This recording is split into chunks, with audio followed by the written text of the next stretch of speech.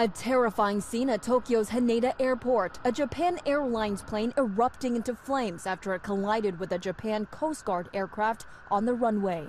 Prime Minister Fumio Kishida says all 379 on board the passenger plane, including eight children, are expected to be okay. They were evacuated before the plane was engulfed in flames. But at least five people on the second aircraft were killed, only the captain making it out alive.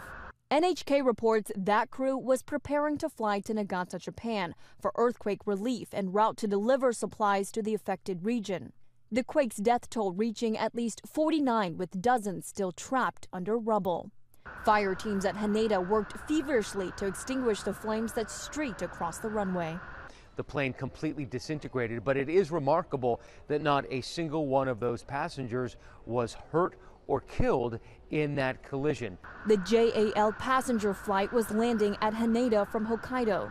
Experts say the plane, an Airbus A350, is a total loss, but is a testament to how newer commercial planes are designed to ensure all on board can evacuate within 90 seconds. The incident a rare one, with experts saying Japan Airlines holds an impeccable safety record. The airplane did its job here. What, what we think what happened is that this was a pilot error. Somebody, probably on the Japanese Coast Guard side, uh, taxied onto that active runway uh, when they weren't supposed to.